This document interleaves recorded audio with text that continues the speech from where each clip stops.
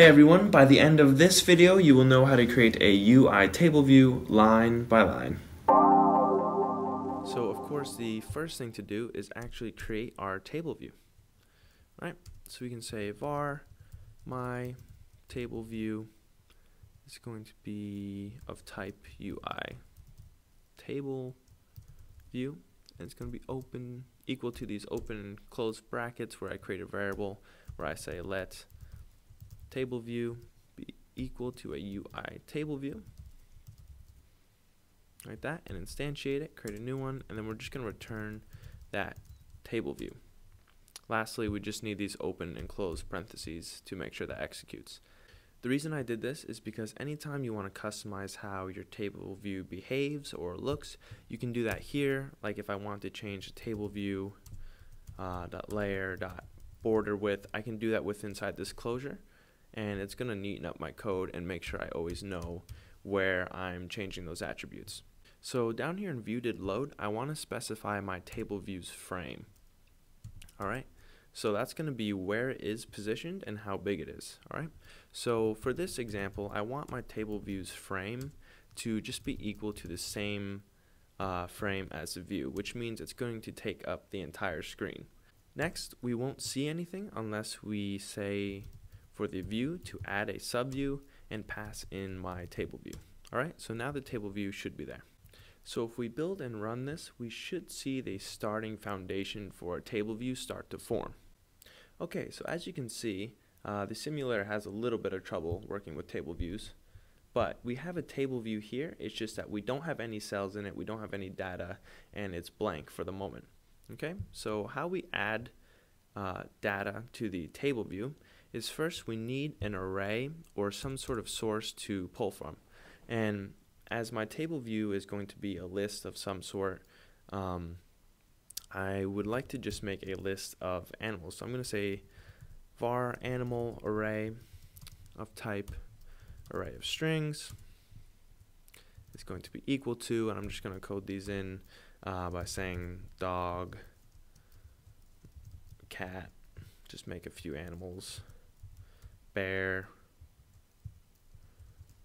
bat for the sake of rhyming, and then something like otter, however many you like. This is just my array of animals. And so this is the list that I want my table view to display, as they are typically known for displaying information in a list format. So to allow the table view to get the information from this array and display it, we need to let the table view know whose its delegate is and where it's getting its data. So in this view controller, you can see it's a type UI view controller, but we're also going to give it the inheritance of being a UI table view delegate and a UI table view data source. All right, so it's going to give us, it's going to be a little cranky at the moment just because it tells us that if we want this view controller to manage the table view, then it needs to use two functions in order for that table view to be able to operate. And if you click on the arrow here, it'll give you these two functions, but I'm just going to copy them uh, down on the bottom here just to neaten up my code. So the first function that the table view needs in order to operate properly is it needs to know how many number of rows are going to be in each of its sections.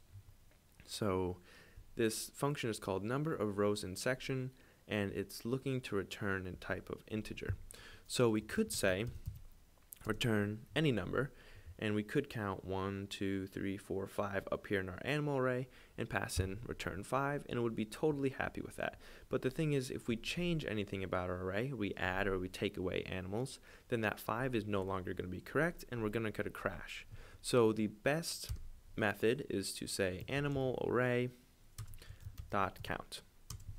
That way each time that it reloads the data in our table, it always is checking how many items are in this array and we don't have to hard code that in or change our code later. So the second function that we need for the table view to operate properly is it needs to know what each of its cells in the table view look like and what cells they are. So this function is called cell for row at. All right, and it's looking to return a UI table view cell. Before we can create a cell, however, we have to register a cell with our table view.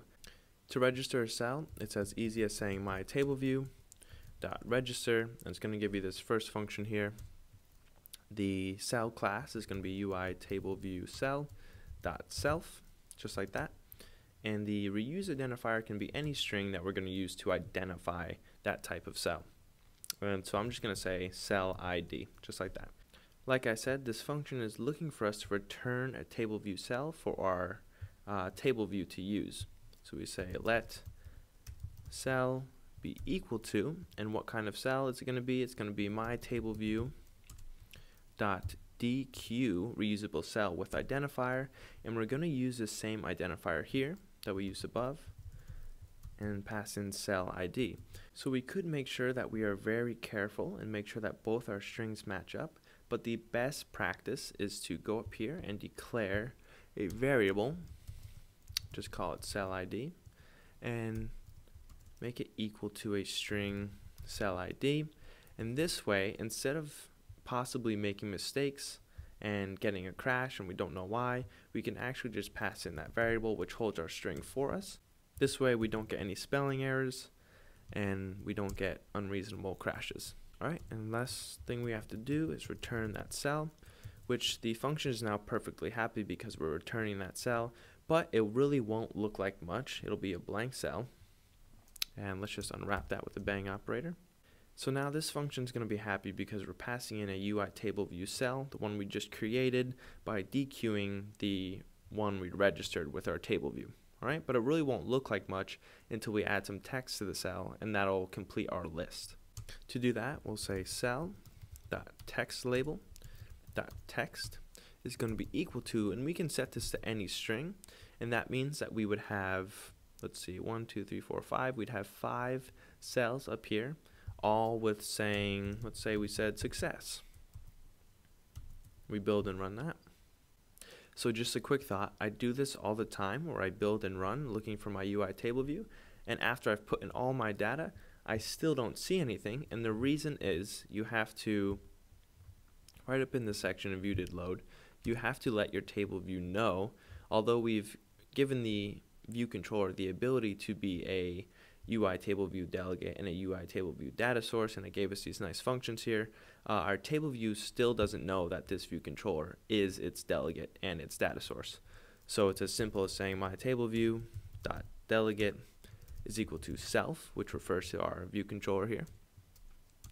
And then my table view dot data source is equal to self. So now our table view knows it should be getting its information from this view controller and it'll find these two functions and use that. Well, great. Now we have five cells that each say success, and we have our table view functionality. We can click on the cells, but what we wanted was a list of animals from our animal array.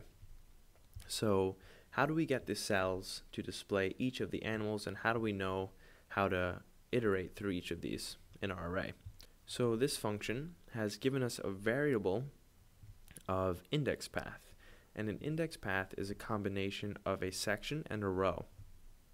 And we can use that row property to set our cells with the right list of animals. Instead of saying success five times in a row, we could say animal array and then give it the indicator, let's say zero. And zero would give us dog five times in a row. But with index path, we can access the row and match it to the row of our array.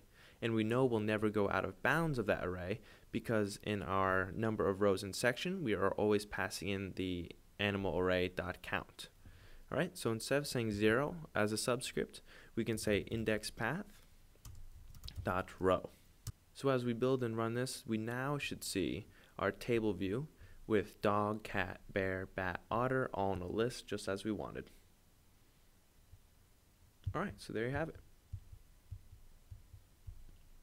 So now that we have our table view functioning correctly, there's still a lot more you can do as far as customization and functionality. If you want to see more of these methods that do a lot more for the table view, uh, simply hold command, go up to UI table view delegate, and jump to definition. In here, you can see all the functions that change how the table view reacts. All right, some of the best ones are did select row at, which provides functionality for when the user taps on a cell.